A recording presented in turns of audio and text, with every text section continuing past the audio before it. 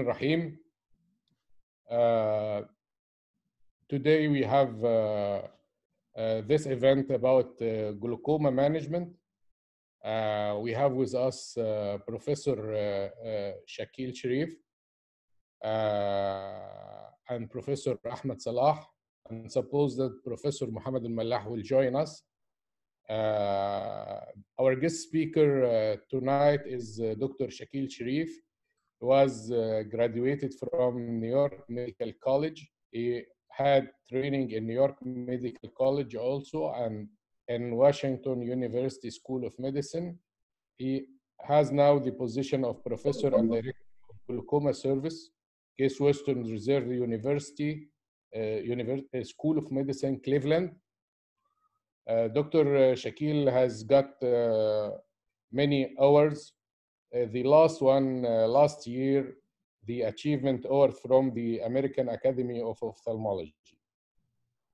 Uh, Dr. Shakir, uh, Dr. Shakeel will uh, today will uh, talk about uh, post-operative tube management and uh, minimally invasive yet maximally uh, destructive and also uh, he will talk about the surgical management of acute angle closure glaucoma. Uh, the first talk will be about the tube management, post-operative tube management. Dr. Shakeel, Dr. مجدي Dr. Ahmed now can, كان سبيك uh, really uh, Tush, uh, uh, uh, Shakeel, uh, it's nice to meet you. Thank you. In our gathering. And uh, Ramadan Kareem. To you as well. Uh, yes, I know the time that you in the United States now uh, about 3, 3.3. I know you, you are fasting, so we can no, have no longer time. I'd like to present uh, with uh, us the superstar, Dr. Shakeel Shareef, Professor and Director of Glaucoma Service, University Eye Hospital Eye Institute, uh, uh, Oklahoma, United States. I've also my deep gratitude to my professor, Dr. Magdi Khalaf, for preparing this uh, gathering together. Uh, we hope to enjoy our meeting, and uh, I asking now Professor Shakir to represent the first item of management of eleva- elevated IOP following shunt surgery. Please, we have five minutes after each presentation to ask for any question, and please, any audience or viewer of us, any question have to be written to be asked for Dr. Shakir. Okay, go on, Dr. Shakir. Yeah, Thank you.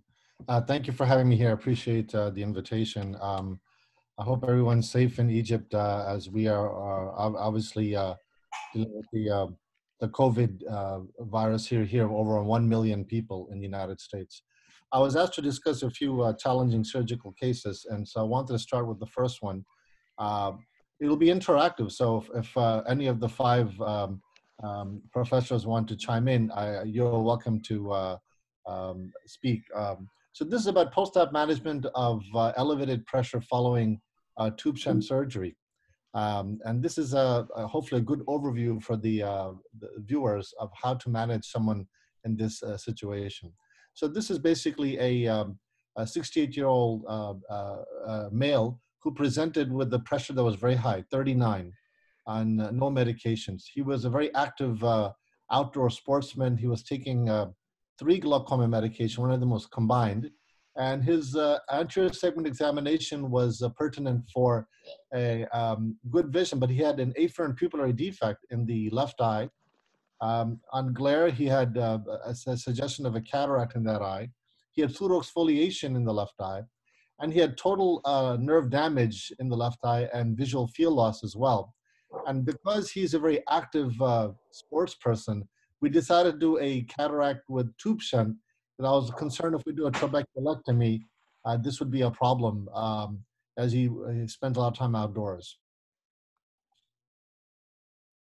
But This is uh, uh, surgical outcome. He has what appears to be very poor vision, hand motion. Um, he has a pressure of 35, and you can see he says blood in his uh, tube, as well as uh, clumps of blood here as well. And you can see the corneal light reflex is not very clear here. The the border, sorry, and you can see that uh, more clearly here the blood in the tube. Um, he basically, uh, with massage, there was no change uh, in his uh, presentation. Um, the um, so at this juncture, the question I ask the audience uh, and, and the five uh, doctors here is, how would you proceed at this point? What would you want to do at this point? Any of want to comment before we Yes. move on? Yes. Yeah, what would you do at this point? He is uh, pressure is very high. He has blood in the tube in the chamber. What would be the next step? Yes. The first, we ask ourselves why the the tension high even with the presence of shunt, Correct. and after how many days the the IOP was elevated. No, this was just day eight. This was day eight. Day eight. Yes. And The what about, what about the previous seven, seven days? Is the, the attention normal or within normal? Yeah, the tension was normal, but now at eight, day eight, he presents with the blurred vision. The surgery Okay. was uneventful. He does not have uh, diabetes or any uh, Yes. Uh, neovascular glaucoma. He does not have that. But, but I, even with the blood clot inside the anterior chamber, I noticed there is a remnant of blood inside the inside the tube itself. Could be uh, could be this, uh, oh, yeah, including the tube shunt. Yes, correct. That's one option. So the question is, what would you do next at this point Yes. to manage this patient? The shunt uh, is already closed, so you have to reopen it, uh, it and uh, remove the tube and re uh, reform it, it and reopen it to the to, to make patency and to, more make the IOP to be lower than that. Right. So what can we do uh, in um, to to achieve that? Okay, we are waiting for the order answer. I can keep going. I'm just trying to make it interactive. Actually, Dr. Shakeel, uh, as you know, I'm a refractive surgeon. My rule is only to uh, introduce you, and then uh, I will let you uh, uh, let you uh, discuss together, uh, you and Dr. Salah and Dr. Mallah. Okay. Okay? So Yeah. at this point, the question is, how would you proceed? Magdi, you are enjoying the presence with, with us. Yeah. Yes. So, but How your does- point how was does well made. You want to do something to remove the blood, and so at this point, we have to think about, you know, tissue plasminogen activator (TPA). Yes. And just a brief um, uh, background here, because I know the time is limited, is basically a naturally occurring protease that in the unbound state has a systemic half-life just under five minutes.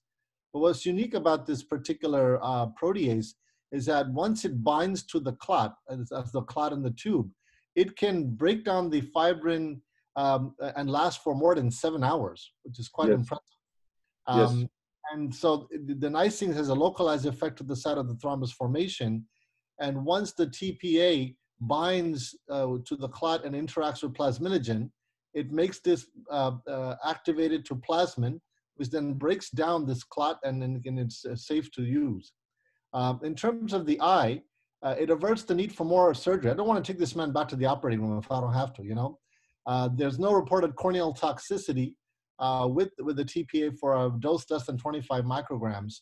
And it can restore the flow uh, through the tube with the rapid decrease in pressure and prevent further optic nerve damage. And also it has a localized effect, which makes it very nice because you will not cause any systemic bleeding.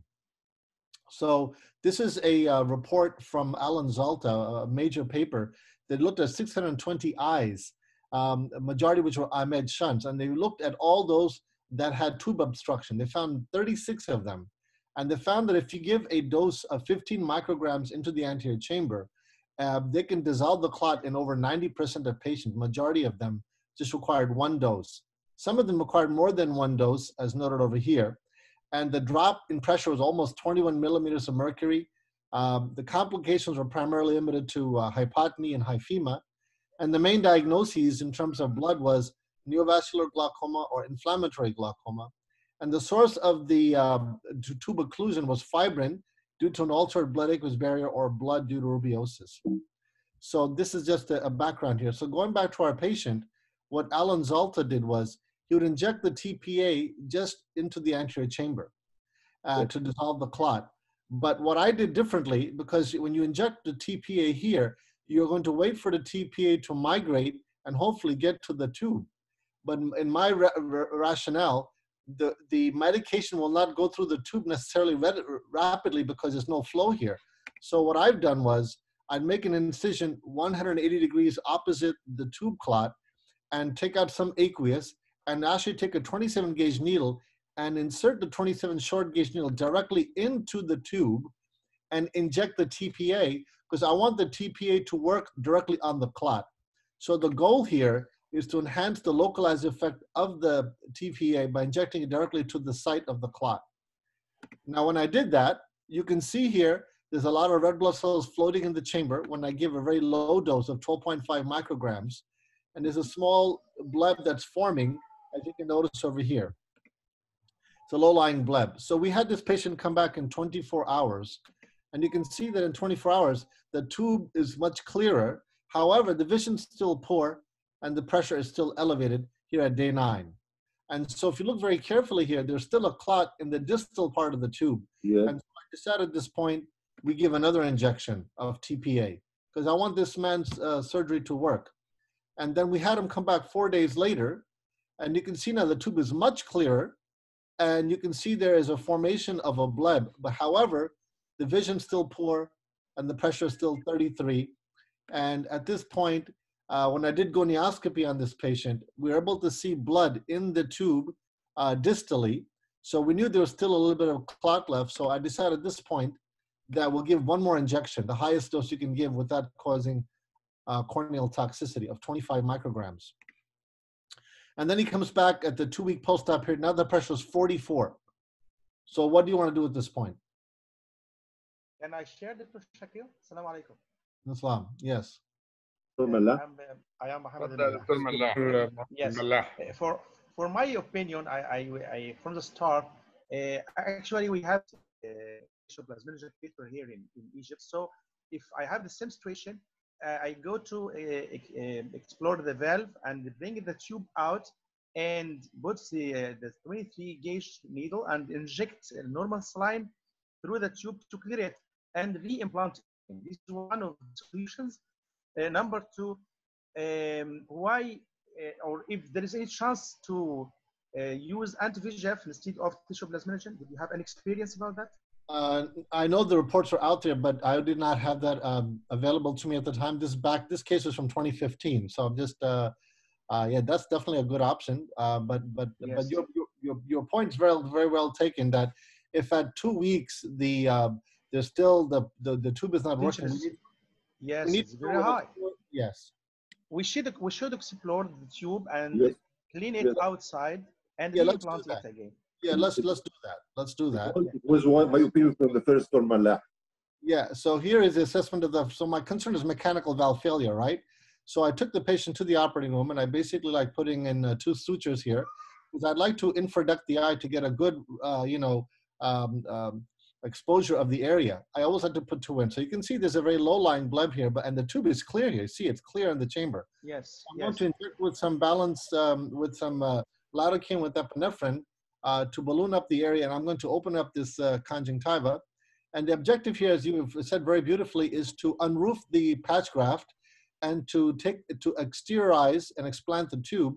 And I'm going to try to uh, flush it to see if there's resistance to um, uh, outflow. And if it is, at that point, you know, one can consider doing an exchange with a new new tube shunt. But when you pull it out here, you can take a look here.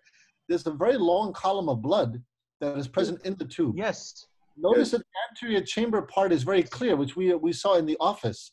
But this is hidden underneath the patch graft. Look how long this column is. I've never seen this before. So at this point, what I'm going to try to do is I'm going to squeegee and, and remove this blood away from the valve's mechanism because I don't want it to, to uh, destroy the valves.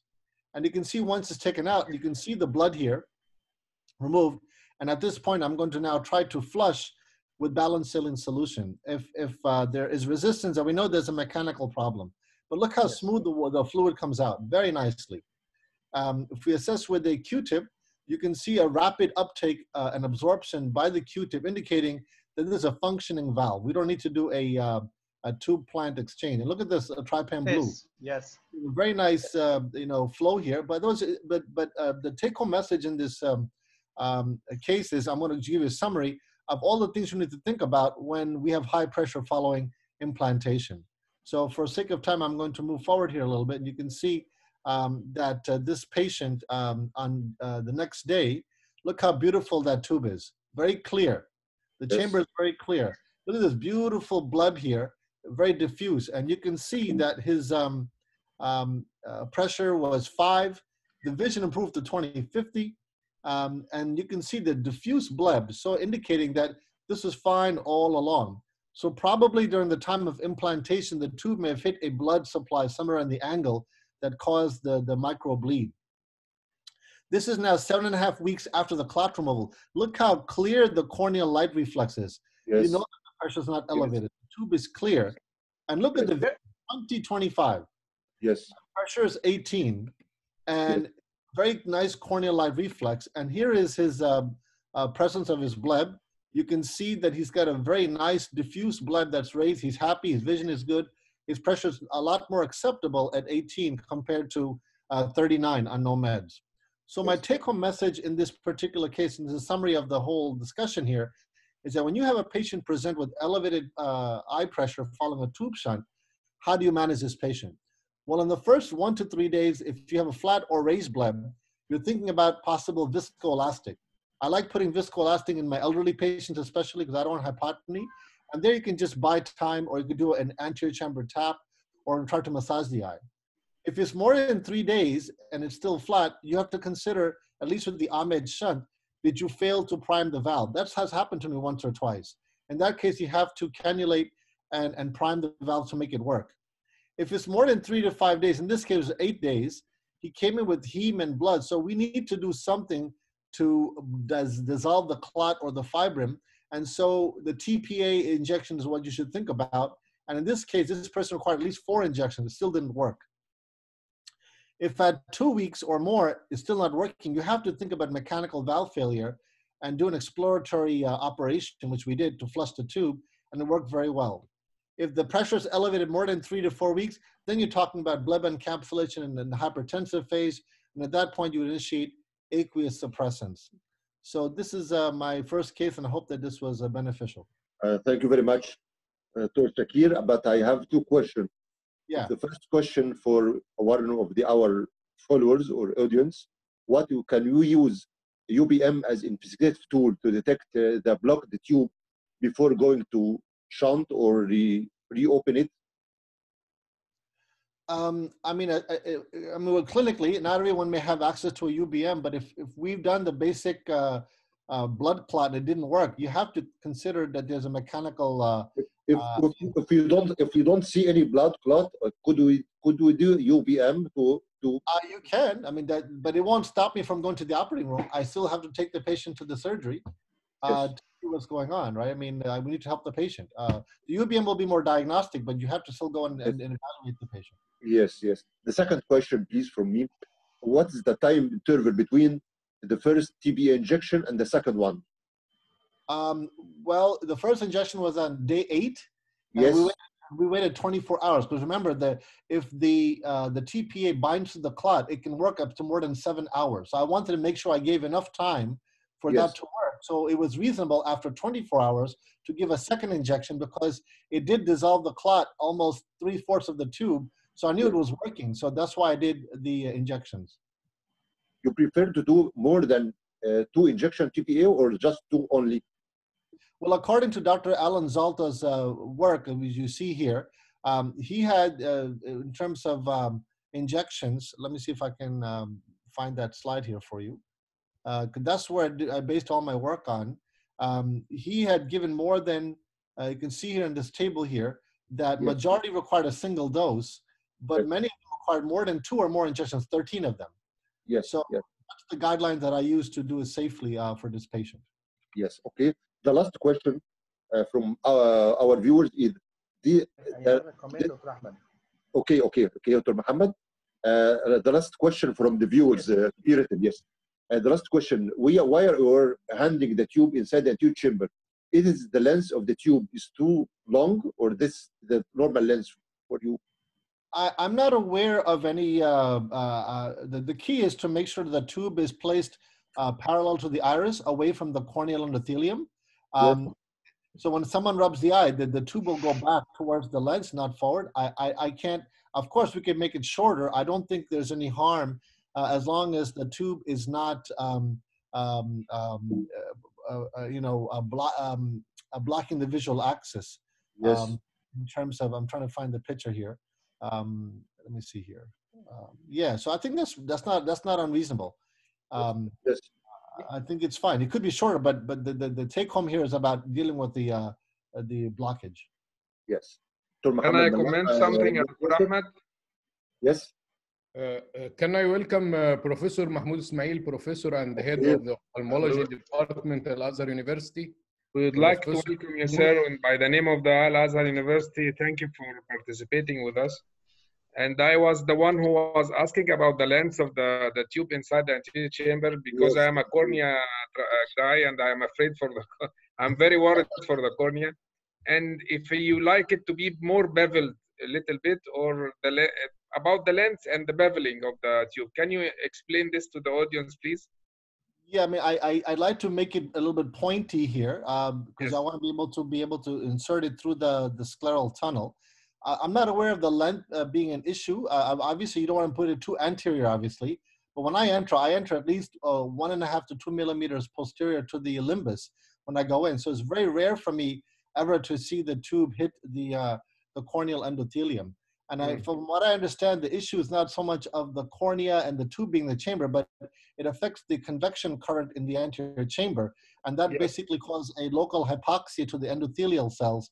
That can be an issue in patients, of course, with Fuchs or something like that. In that case, I may put the tube in the pars plana or behind the iris in that Behind case. that. Uh, Okay. Dr. The Shakeel, last, uh, one- I- last, last question, Thank you. Dr. Malak.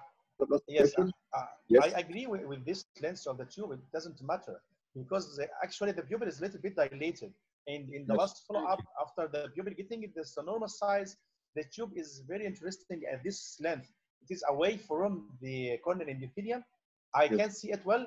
And all implants in the anterior chamber uh, will affect the number of the uh, endothelial cells. All of the implants all over the uh, world uh, any implant will affect the endothelial cell count.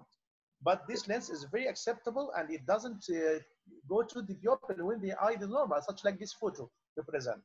Yeah, I mean, it, And, uh, and regarding it was the encapsulation, uh, later on at the end of your lecture, I have a case to present, inshallah. okay. Okay. Yeah, Dr. You- you can go to the next presentation, please. Okay, yes. So let me just um, close out this one. And I'm going to, um, uh, let's see here. Open up the next one. Give me one second here. Um, I need The to, next uh, presentation about uh, minimal invasive yet maximally destructive, a Yes. role of uh, cataract surgery in uh, lowering the IOP. So let me, um, Actually, this is a very interesting presentation. We can you see that or no? no, No. not yet. Okay, so let me, hmm. I opened it on my computer. I don't, um, Just share now? screen. Share Okay. screen. Dr. Muhammad, Muhammad Eid, where you are, Hatem Sani. I offended. Uh, does that work there? No, no, no, Okay, no. go on, go on, Yes. Dr. Yes, go on.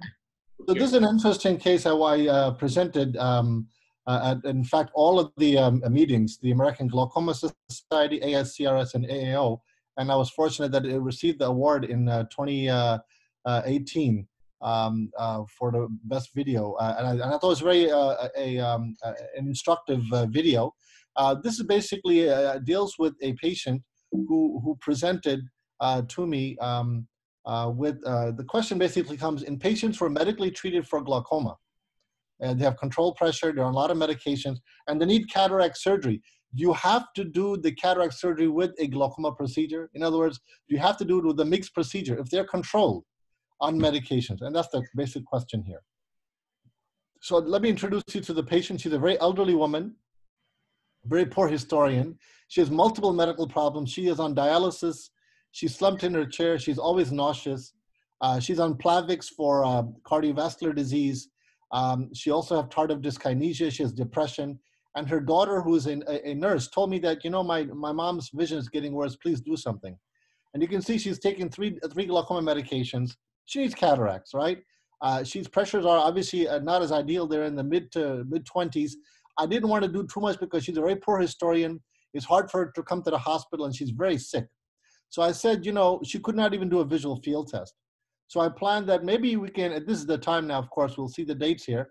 I decided based on this study from Canada that we'll do a cataract surgery and put two stents in. And according to this study by Belovay, you can get at least a 20% reduction in pressure and 85% reduction in medications uh, for this. So I thought I just want to buy her time because she's a very sick woman.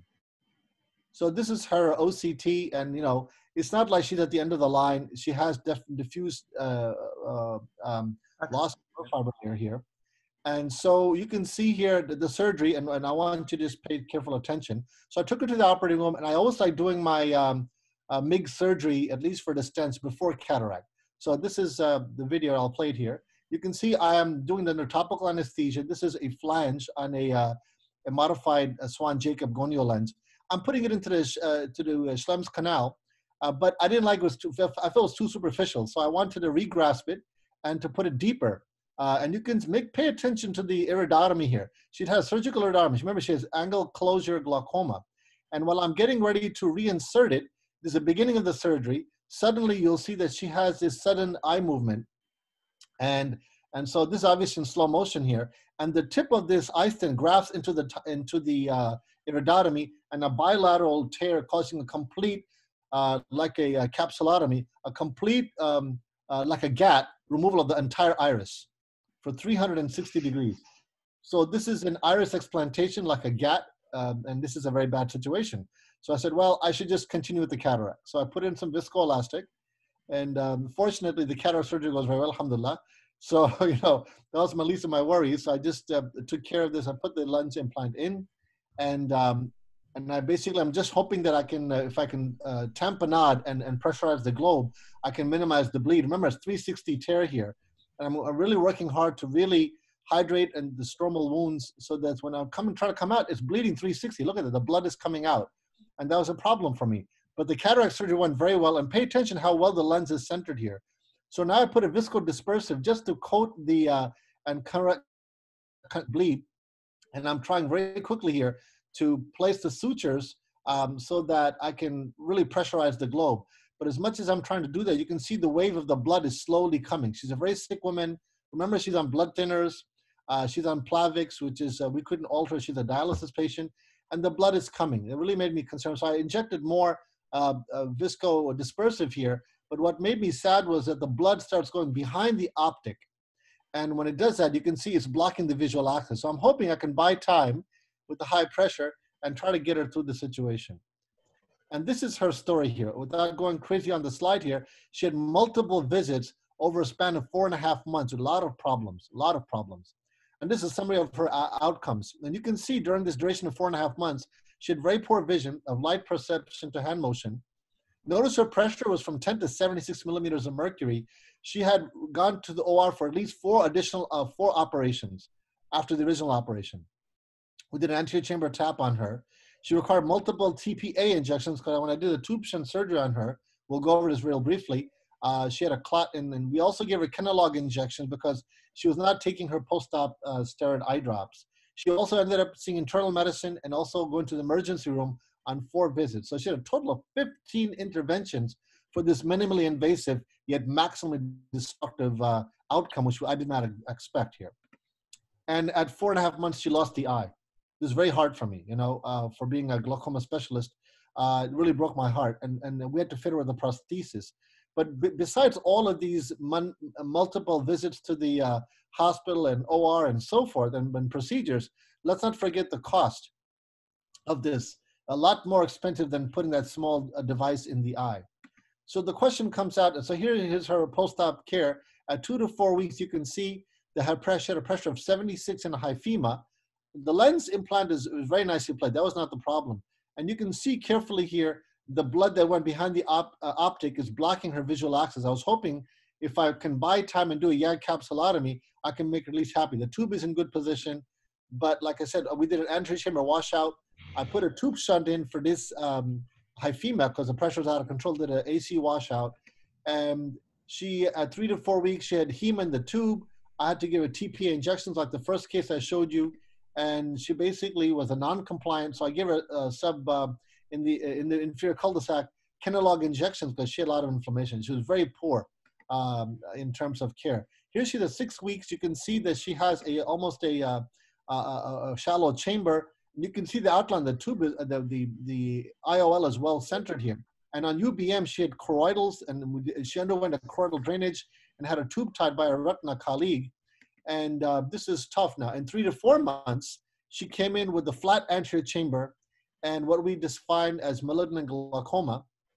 And at this point, the retina doctor did a vitrectomy, hyaloidotomy, anterior chamber reformation. But unfortunately, because the tube kept on hitting the, the corneal endothelium because she's a poor, uh, non-compliant patient, uh, she had corneal decompensation. There was discussion with our cornea colleague to do a corneal transplant, but unfortunately, she ended up having an enucleation at four and a half months because she was just someone who could not take care of herself. And at 10 months, she passed away. So this is a very important uh, lesson uh, and, and case I want to discuss with you, and I'll keep moving for the sake of time to discuss, uh, and we can try to answer the questions later, but I want to stay focused here. The question is, how could we have done better? Understand that before I did her procedure, I had done over 250 iStent surgeries prior to this case. So this is from supposedly an expert um, who, who operated on her, and it was a very, it was an adverse outcome. So some of the considerations could have been a block, but I don't like giving blocks or general anesthesia because she's on Plavix, she's very sick. So I don't think this was an option. We could have tried to use a fixation ring like the Volk uh, lens or iPrism clip. I'm not sure if that would change anything. We could have done cataract surgery alone and continue her glaucoma medications, which would have been a, a, a, an option to consider. Or we could have done the angle surgery after the cataract was taken out to give more space to work. But I don't think that would have been an issue either because she moved on uh, when I uh, was working on the beginning of the case. So when we think about MIGS procedures, I just want to put things in perspective. It's a very sexy term, right? MIGS. We have the hydrus, we have the iStent inject, we have uh, the uh, canaloplasty, we have GATT, we have many, many procedures in this uh, uh, space. But it's reserved more for non-refractory glaucoma. There's minimal tissue alteration. In this case, she had maximal tissue alteration. I took her iris out. It's supposed to be a very high safety profile, but I don't think she was a candidate for this. And it's supposed to have some efficacy that's modest to moderate in lowering the intraocular pressure. So I looked at the literature and I found this nice report from the American Academy uh, by Chen et al. And he asked the question, what is the effect of cataract surgery alone on intraocular pressure in patients who are medically treated for glaucoma? Meaning they're gonna go undergo cataract surgery, they're medically controlled glaucoma patients, but they did not have any prior uh, glaucoma surgery. And so when you look at their literature, this is the summary, they looked at all of the publications in the literature and they categorized four different groups. The number of studies, the number of patients, and the follow-up. So if you have open angle glaucoma, they found nine studies with over 460 uh, uh, uh, subjects following you a year and a half. They found that you, if you just take the cataract out, who are medically controlled, you get a 13% drop in intraocular pressure. If you have pseudoexfoliation, there are five studies here, and they went out to more than uh, um, you know uh, two years, three years. They found a 20% drop out to 34 months. That's impressive. That's almost um, uh, 36 months there. But if you had chronic angle closure glaucoma, this is my take-home message, and they, and they were medically treated, you'll get a 30% drop in pressure in uh, intraocular pressure, and almost a 60% drop in uh, uh, dependence on medication. So this large drop may have to do with the uh, lack of access of aqueous to the outflow pathway to the trabecular meshwork. And it was also shown in this uh, study that those who were controlled on primary angle closure glaucoma patients, it was rare for them at one year to require a filtration surgery. Another study looked at the combination of cataract surgery and glaucoma surgery. In this case, phacomorphic glaucoma, and they found that if you did cataract surgery alone, uh, and these patients had pressure of 36 to 40, okay, preoperatively, um, and they looked that if you did cataract surgery alone or cataract trabeculectomy, at the six-month follow-up, they had a similar intraocular pressure drop of to 12, uh, uh, remarkable. However, when you look at the visual acuity recovery three months, it was very poor in the trabeculectomy group, indicating that the, the, the glaucoma surgery was not necessary here. When they went out to six months, look at the visual acuity of, of more than 2040. more than half the people had a better visual outcome in the cataract surgery alone group versus those who had cataract and trabeculectomy. Again, pointing out that there's enhanced access to the trabecular meshwork outflow and that a faster visual recovery in those who underwent cataract surgery alone. The last point I want to make here is about titration. Of course, the first generation iStent could be one, or you can put up to two or three of them. This study by Belovay, which I indicated to earlier, whether you put two or three of these stents in, they get a 20% drop in pressure, whether it's two stents or three stents at one year out. And they get a drop in um, a reduction in medication burden by almost 75%. In our patient from the, from the last AAO study I showed you, they can get, in fact, a 30% drop, much better than putting in two stents, which I had initially planned, and 60% reduction in medications. So in summary here, um, in medically treated non-refractory glaucoma patients, you do not have to perform a combined cataract MIG surgery. The cataract surgery alone, especially in my angle closure patients, is enough. So what I do with the rare exceptions, when I have a patient come in who's medically treated with angle closure, I will perform the cataract surgery alone. That's what I would do. And the key here really is you have to select your patients. How old are they? What is their life expectancy? What comorbidities do they have? They have are there on Plavix and heart disease and so forth.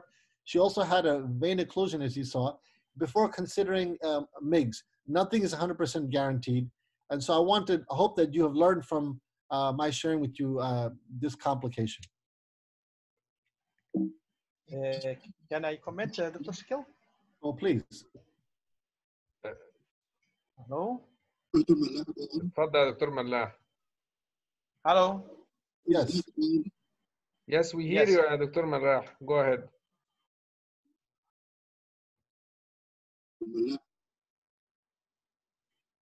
Allah. Okay. Uh, Good. of course, this this is a brief heart to to represent such like uh, this case. Uh, that is very very um, uh, interesting case. Uh, I remember a patient since uh, six years. Uh, he asked me um, to. Uh, Yeah, I can't hear you.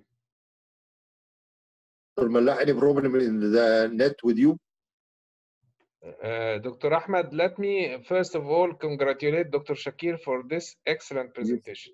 Yes. You are a yes. very modest um, person, uh, Dr. Shakir. You have exposed your uh, complication very clearly, Mm. and this is the, the the best thing in the message itself to the doctors, not to be escaped from their own faults and to re- revise their uh, their. It's a very complete and competent presentation actually, which leads to a very nice conclusion at the end. Simple and clear message. Thank you for this really humble uh, message that you have exposed to us today. To I really like the, the presentation. Dr. Mahmoud, it is multiple dilemma in one presentation. Yes. Okay, okay. Actually, uh, Dr. Shakir, you, yani you have cleared a very good issue. What do you think, Dr. Magdi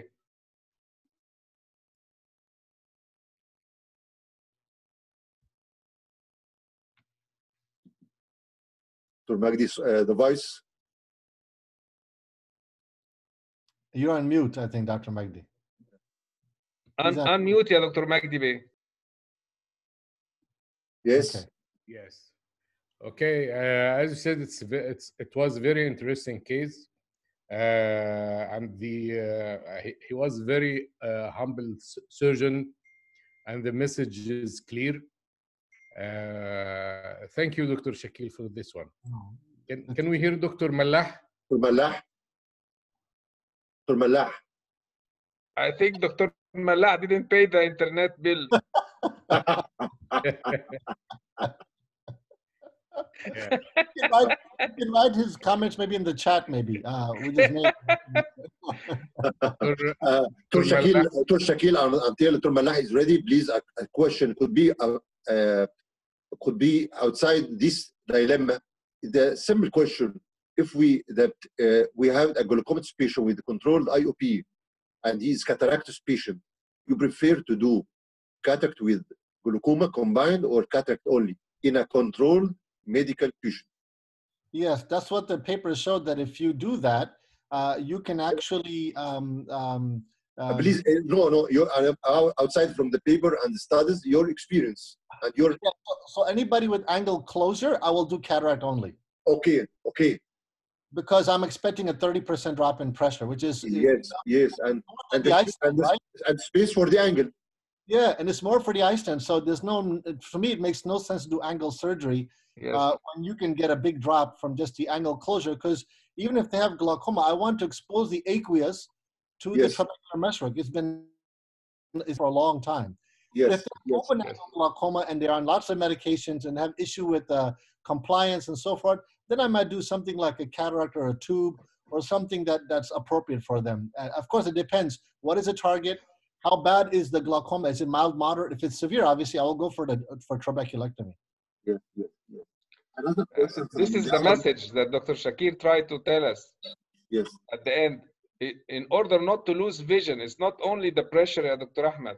yes, The end, uh, the message is when you do combined glaucoma, and uh, if I understood right, Dr. Shakir, Please. if you do combined surgery, you will be almost the same in the intraocular pressure at the result, Yes.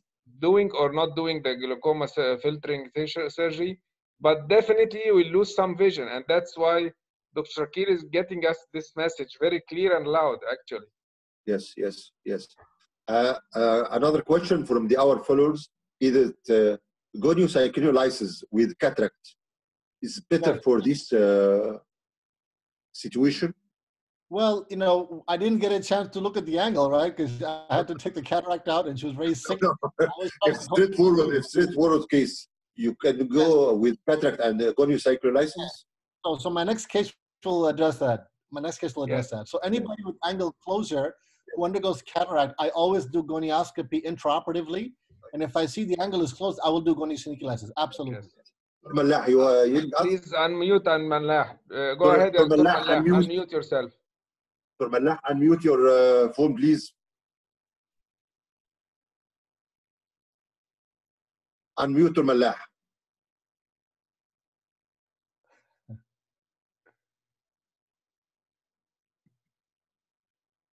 دكتور محمد عيد يكون هير مي يس يا فندم دكتور ملاح اوريدي كو هوست he, can unmute no. himself Ah, no, no, you, you can tell him that you, he had to unmute himself.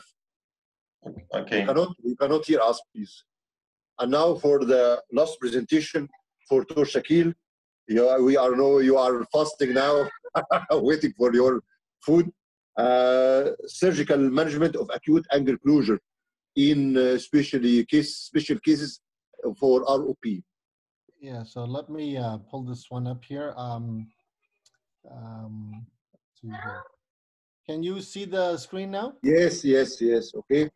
So this is also another interesting case that I wanted to share with you, and uh, which is really there's no complication, here, but I think there's a lot of teaching points here that I'd like to share. Um, this is this, the question is, you know, what do you do in someone who has acute angle closure, and they also already have patent iridotomies?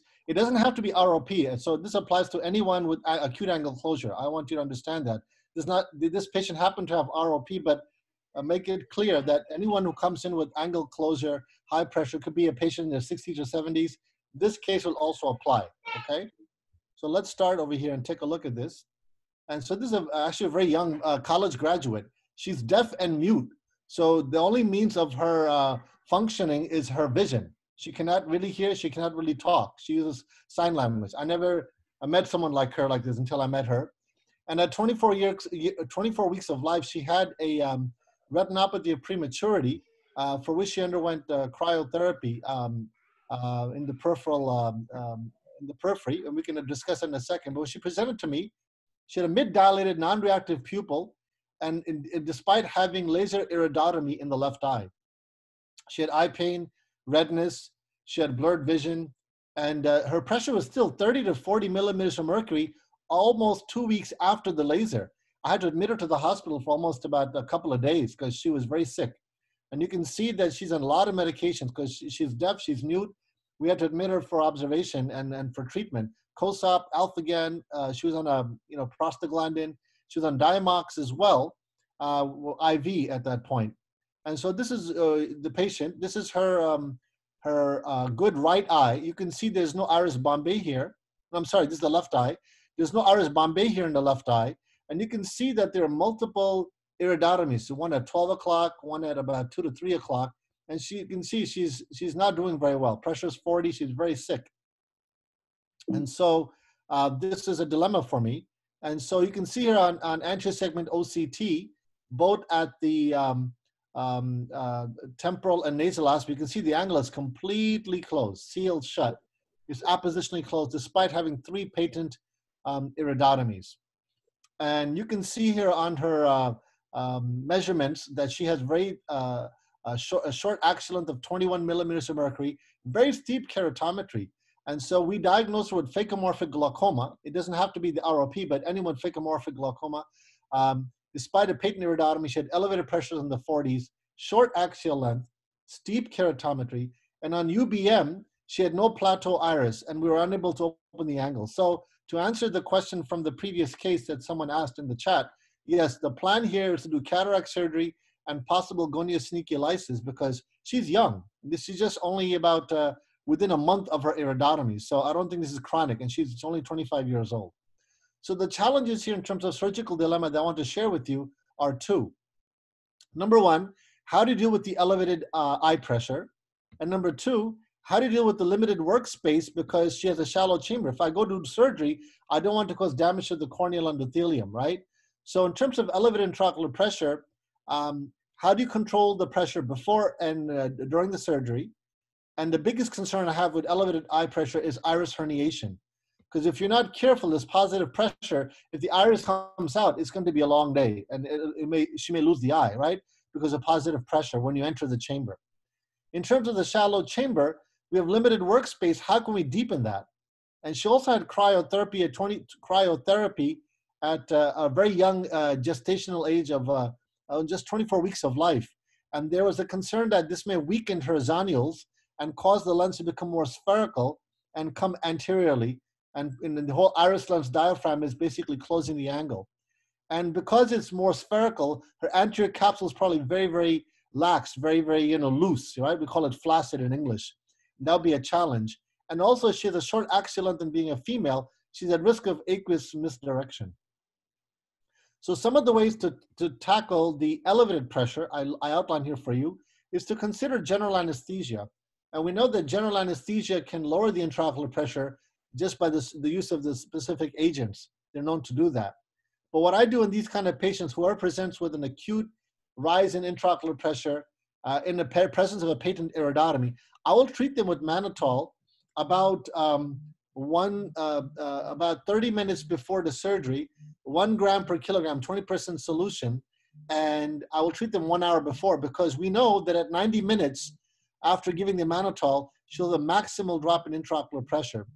The other benefit of uh, mannitol is that it dehydrates the vitreous. So when you're shrinking the vitreous, it will secondarily deepen the anterior chamber and allow me as a surgeon to work in there. I would never use a Malyugin ring in a, in, in a angle closure patient. That's the wrong device to use if you need to dilate the pupil.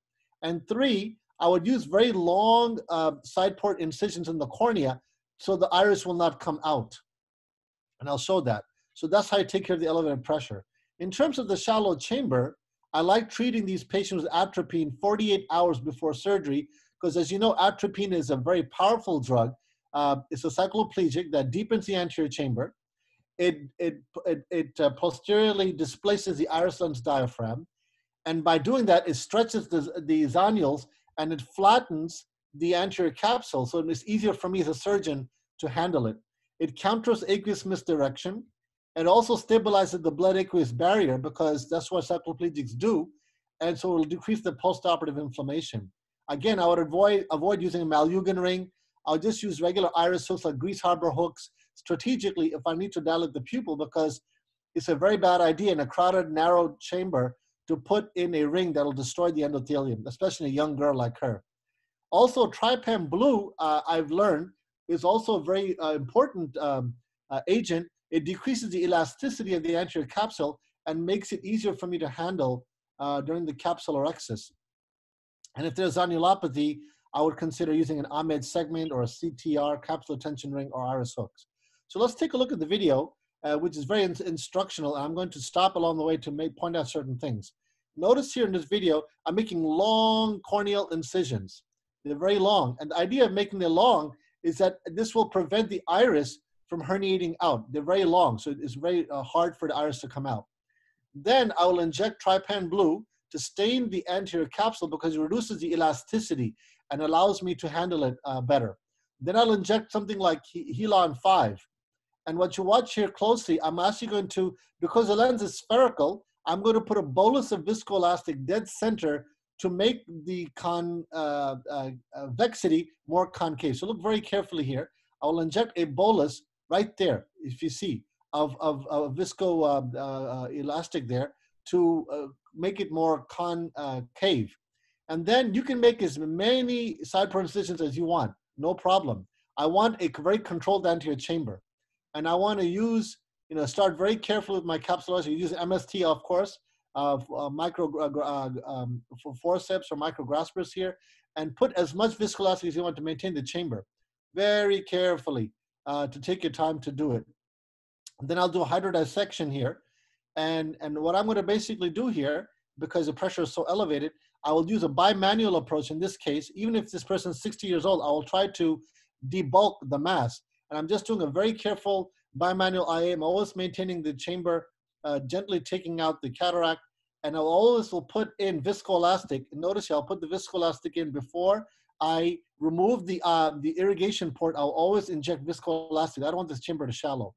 And I'm going to uh, fill up the, the bag with, uh, with um, the appropriate uh, cohesive. And then notice only afterwards, after I do all of that, will I actually go and I will then make the keratome incision not before. Because if you make the keratome incision in the beginning, you're going to cause uh, the iris to herniate uh, and uh, through your temporal wound with a high pressure. So I would never do until the very end. And then I'll inject, it's a very subtle point. I'll always inject into the bag to make sure the bag is dilated right about here. You see, I'll inject here because I don't want this uh, the bag to break. I'll put the lens in, let this settle out, and then we're going to do gonioscopy, intraoperative gonioscopy. And you can see here, I'm looking with the gonio lens. And look here, you will notice that the angle is completely closed here, is completely closed. I'm going to just pause here for a second. And you can see here, is zip shut. But remember, this is only two weeks when she presented. So this is a, good candidate uh, for goniosneaky And there are many, many instruments you can use. MST, you can use in your microretratas. You just want to gently grab and, and gently pull uh, towards the center and not get too aggressive because you don't want to rip the iris or cause bleeding. And I will go quickly here, uh, speed it up here. You can see I'm doing the goniosneaky very carefully, uh, nasally, and I'm going to inject more viscocohesive, and you can see the area here to keep the iris away from the cornea. And I actually went over her nasal bridge, believe it or not. Uh, and I went nasally to temporal and did the same thing from over her nose because uh, I want to help this young child, right? She's a college graduate, she has a whole life ahead of her. And I did all of the glasses. And then what I'll do here as well with the visco cohesive, I'll, I'll inject to, to tampen out the bleed. And I'll go ahead and do it, uh, remove the viscoelastic from the bag. And then I'll inject more viscoelastic over just focally, and I'll do a blind goniosneaky at 12 and 6 o'clock because I cannot reach that area uh, to um, help this patient, um, um, you know, you have a fighting chance. And you can see here um, in the next slide that uh, with the goniosneaky this was her vision was 2070. She was on 30 to 40 pressured on maximal medical therapy on almost four or five meds.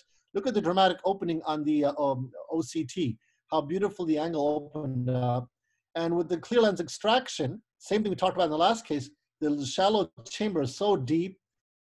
Her 2040 uh, at two months and she had pressure of 14. At one year out, she was 2030 with the pressure of 14 on no meds.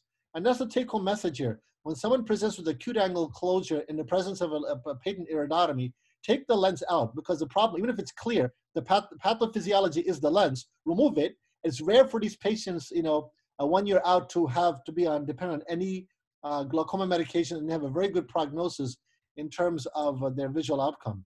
And so the take home message here is that you should use the same surgical rationale in anyone with chronic angle closure. Uh, they don't have to have glaucoma.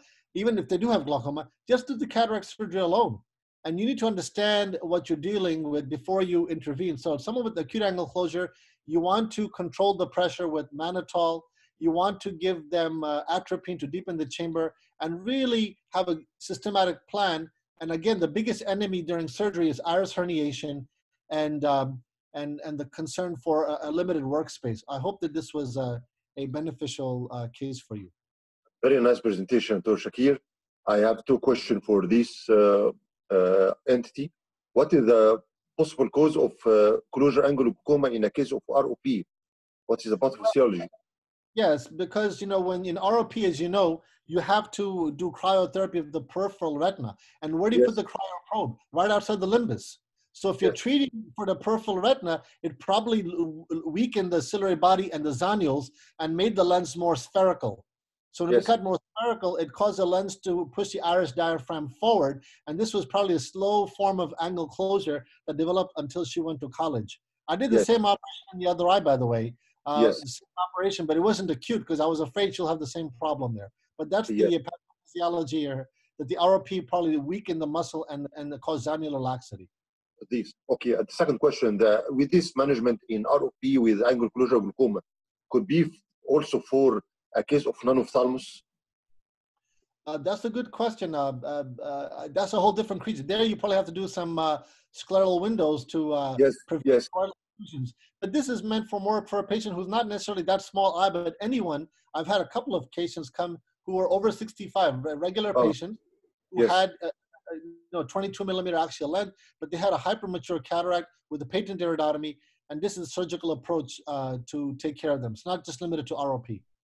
Yes, okay. دكتور Thank you very much. بعد اذنك Thank you very much. Yes, Uh, last question بس uh, دكتور uh, الاستاذ الدكتور محمد البسطي from Cairo University Okay. he would like to make a, a small comment can you unmute him please دكتور Okay. محمد البسطي Dr. Uh, uh, you mute on- on uh, Basti? unmute الدكتور البسطي أستاذ الرمد في في القصر العيني هو راجل متخصص في الجلوكوما و he would like to make a comment. الدكتور شاكيل please And I am back. حاضر يا فندم دكتور باستي كل سنه وانت طيب يا دكتور السلام محمد عليكم السلام كل سنه عليكم وانت طيب يا دكتور محمد Uh, كل thank سنة وانت you, طيب. Dr. Shakir. Uh, it's a pleasure to uh, see these uh, nice, difficult cases. I hope you hear me well. Yes, I Yes, hear you. yes, sir. Yes. Yes, Dr. And Muhammad. thank you to Azhar Group. Uh, actually, I'm following your uh, webinars. All of them are very good and very successful. Thank you. I, I would just uh, make a comment. Uh, in uh, our professors told us in such cases when you have the very narrow anterior chamber, you can remove a piece of the like making an iridectomy because doing synechialysis, I think in such cases will result back after few weeks, maybe few months, again in inviting synechia due to the inflammation and the blood clotting at this. And she will not uh, lose a lot if you just make a small sector iridectomy in the upper area. Uh, I don't know what's your opinion, Dr. Shakeel, about uh, this. Yeah, again, I'm quoting the uh, the paper that looked at uh, cataract surgery after laser iridotomy. It's from the American Academy of Ophthalmology in 2018, and I can share that with uh, Dr. Magdi and Dr. Almalaah.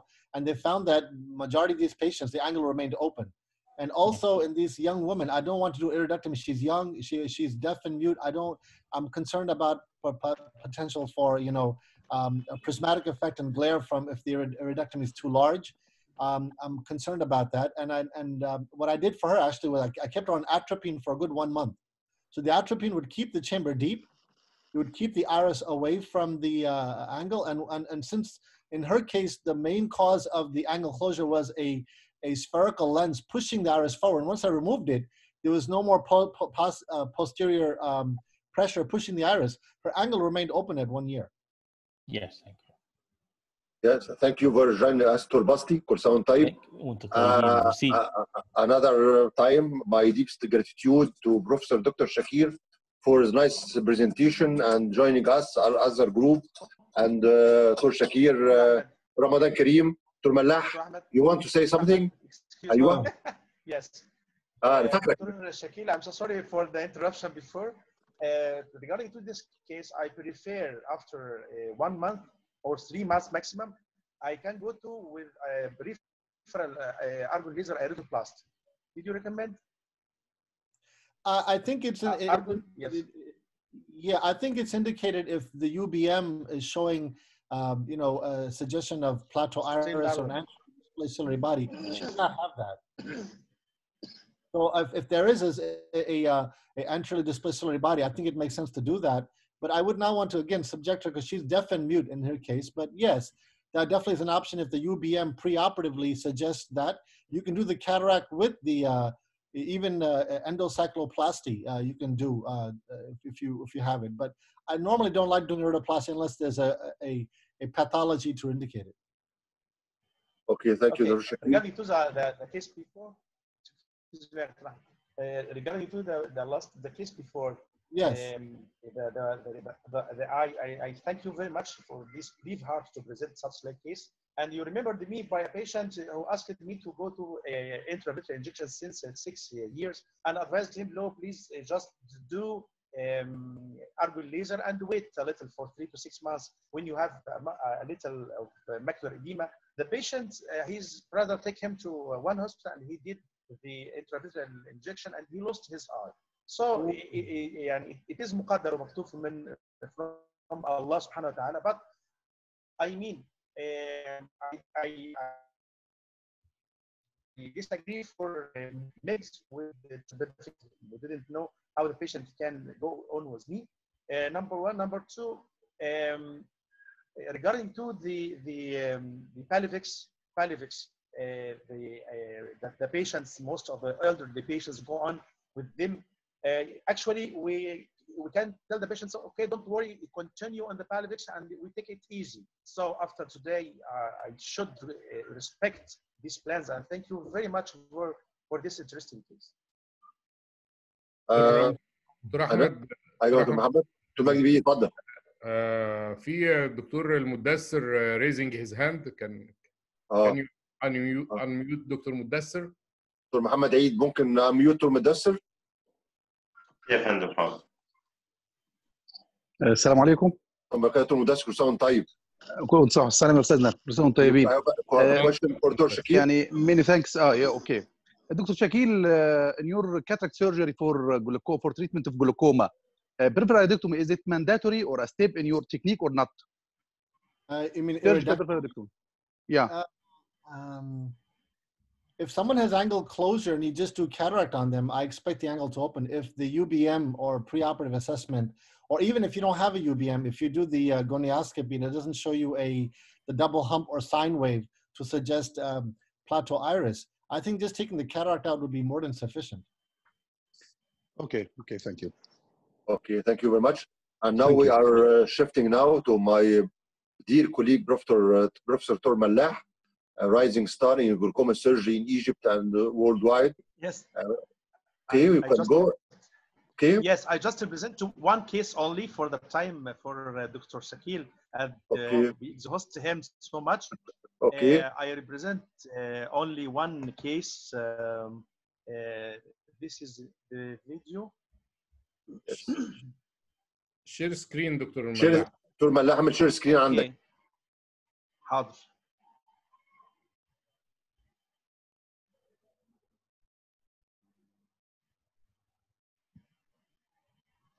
This is share screen. Okay.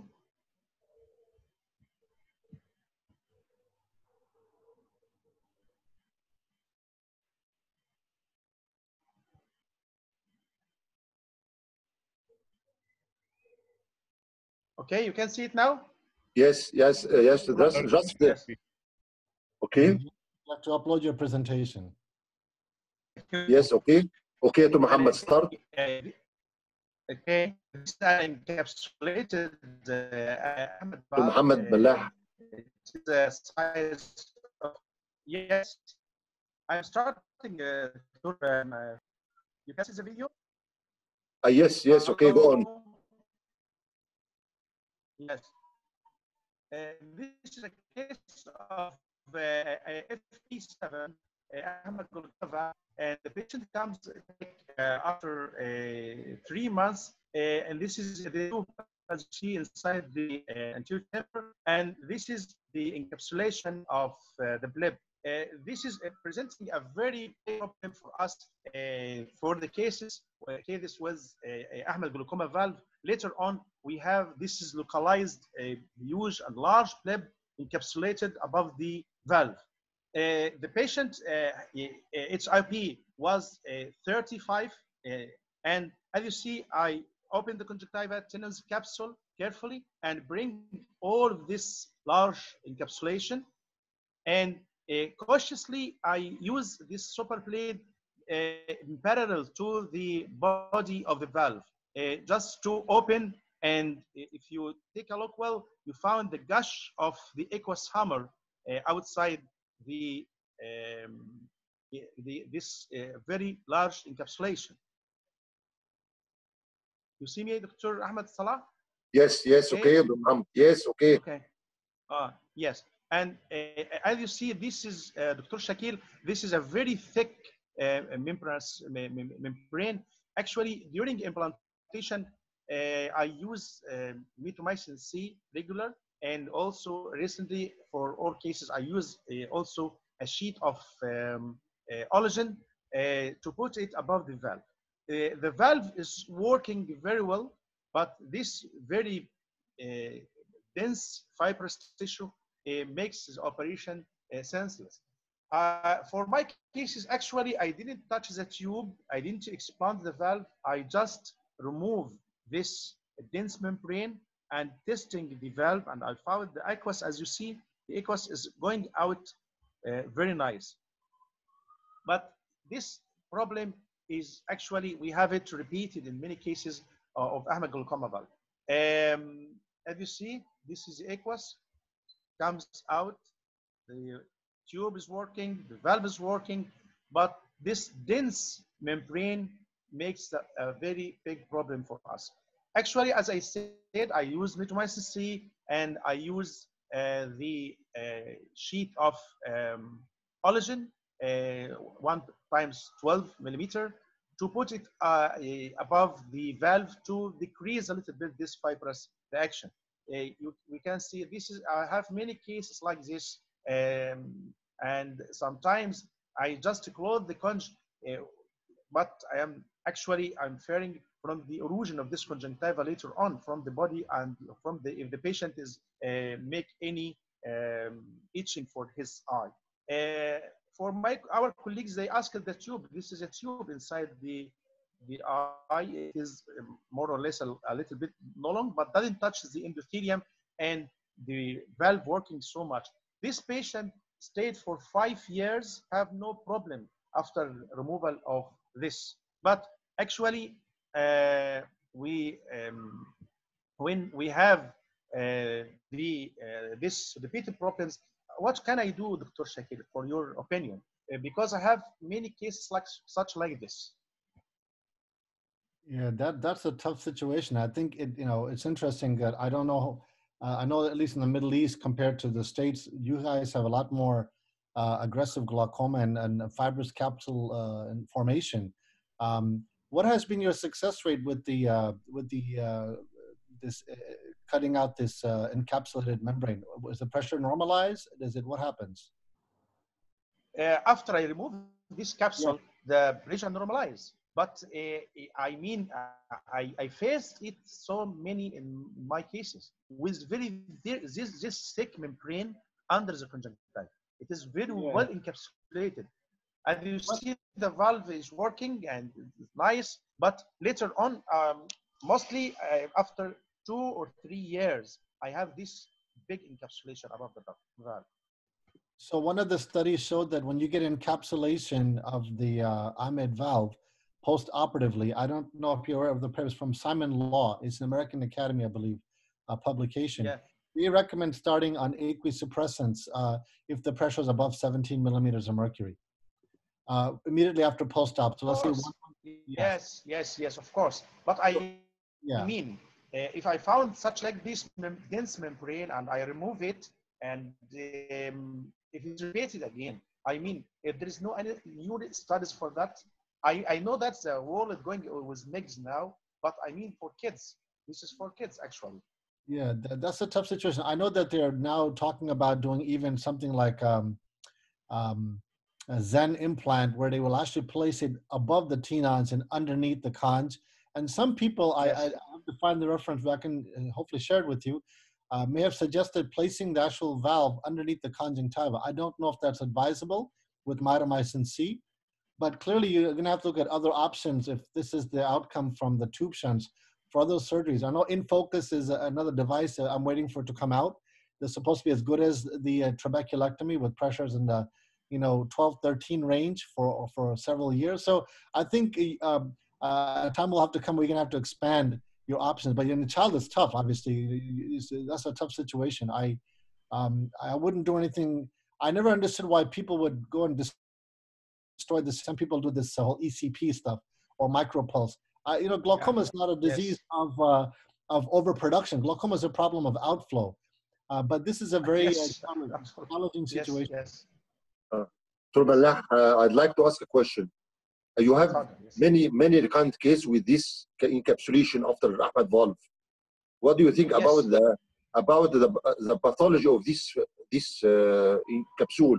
What is the cause? Actually, actually, we did the, the uh, analysis, you go- uh, yeah, histopathology. Yes. Yes, and I found we just this is just fibrous tissue and no nothing nothing anymore. No, not, not just fibrous tissue, not inflammatory tissue. not inflammatory. Yes, this fibrous. And you see, it is so clear, white. Uh, it is like uh, like looks the like this clear tissue. Yes. Uh, so Tur- I, Tur- I face it many many times. So sometimes I shift to the Ex-PRESS, but the Ex-PRESS shunt that's available in Egypt, it is Yeah. uh, for adults, not for kids. Yeah, Yes. yeah. So would you use a F8, F, FP8 model? I saw you use a, a different model there. Ah, Yes. I use FP8 and the 7, Good, good. and the, the, the S2 and S3 for the adults. So, so have you tried the uh, uh, the F uh, FP7 in uh, in children who are like five years old? That have you find that to be beneficial? Actually, I used both of them, but I, FP8 is more working than the FP7. in kids. Yes, yes. Dr. Ma- Dr. Mallah, uh, a question for you from our audience or followers. Is the Deology implant, it is a media for in, in, uh, yeah, introducing this capsule?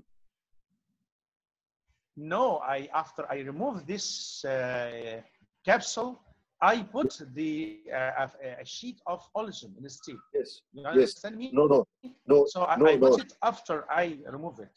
no, no. I am. After I mean, remove the capsule, I put Yes. the collagen above the valve, no, no. under the I- conjunctiva. I mean, I mean, Ologen implant in glaucoma surgery per se without valve. Is there is any correlation Yes. between capsule formation after Ologen implant, or no relation? No, no, no, no.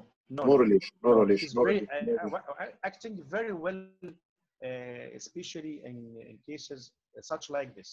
Uh, did you have time to present another case, or that's enough uh, for the time of Dr. Shakir? Dr. Shakeel, Dr. Shakeel, uh, you are. Uh, You, if you have one more case, you can present. Sure. can, can, you, can you stay with us for uh, a while, please? Or uh, or exhausted? No problem. No, no problem. I'm fine. Or We have uh, we can have more uh, to, about ten minutes to Muhammad. Yeah, you have No, just uh, two minutes. Just two Two minutes. minutes. Two, uh, okay, two, Yes. two, minutes, two minutes. Until preparing Dr. Mallah uh, for I- your I- next presentation, Yes. there is a question to Shakeel. Yes. Uh, what is the what is the best procedure, surgical procedure for neovascular glaucoma? You comment. Yeah, I think that you know if someone has uh, elevated pressure, you know the studies have shown that that using the uh, Ahmed shunt is a, is ideal because you want to get that pressure down. So I would recommend a uh, the FP7 for uh, neovascular glaucoma. Okay, thank you very much. Dr. Mallah, are you ready? Yes, Dr. Shakir, regarding to neovascular glaucoma, I, I- prefer to, uh, and I, I, I do this study today since one and a half year. I use uh, uh, intracameral uh, anti-VEGF in combination with the laser cyclophotocoagulation. Uh, what what type of anti-VEGF, Dr. Muhammad? Uh, the alpha percept. Aflibercept, okay? Yes, yes. Okay, okay, okay. At the time of uh, anti-VEGF at the time of laser or before it? Uh, uh, no, uh, just one week before. One week. Oh, okay. Okay. Yes. Okay, so Muhammad, go on. this is this is a video for just half a minute. as by the way, as Dr. Shakiri presents a case of that we are uh, and then we go on to uh, sorry, and this is صوت صوت شكيل I'm so lucky because I catch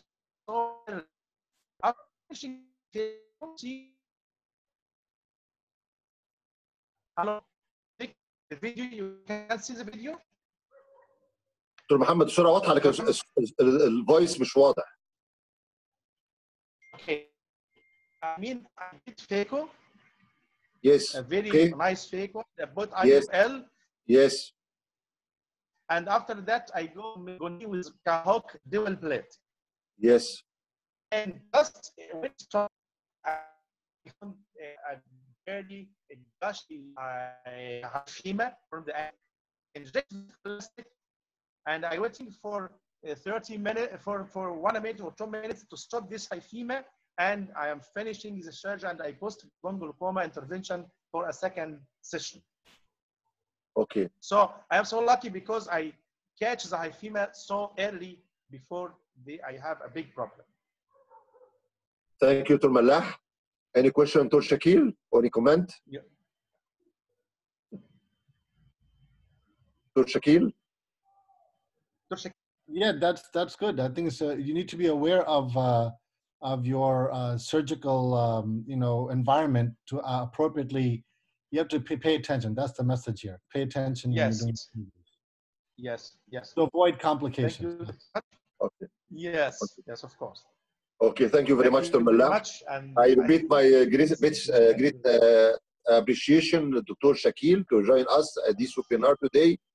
My deep, uh, my deepest appreciation to my dear Professor Dr. Magdi Khalaf for preparing and organizing this uh, glaucoma webinar today. Joining with the Professor Dr. Mahmoud Ismail, to my colleague, my dear colleague, Professor Muhammad Al-Mallah. My deepest gratitude also for Muhammad Eid, Dr. Hatim Sami, their effort, a great effort for preparing and still with us all this time. Uh, Tor Shakil, happy Ramadan. Uh, you can. Uh, At last, I want to thank my friend Dr. Shakil for joining us. Uh, we got a lot of uh, benefits from your cases and from your discussion. Uh, hopefully, we'll uh, repeat again uh, another time. inshallah, inshallah, Dr. And thanks to uh, my colleague, Professor Mahmoud Ismail, uh, Professor Ahmed Salah, and Professor Muhammad Al Mallah. Uh, thank good you night. so much. Thank So thank you So much, for Dr. uh, Magdi. yeah, thank you for having me. And uh, Yes, yes, yes. It's great, great honor, great honor to us, Dr. Shakeel. Okay. Maybe one day I'll visit Cairo and uh, visit your beautiful Yeah, we country. are, Yes, we yes, are, okay. yeah. we are waiting for this Yeah. visit. Soon, soon, inshallah. Inshallah. Yeah. Inshallah. Inshallah. Thank you very much. Yes, Thank uh, you.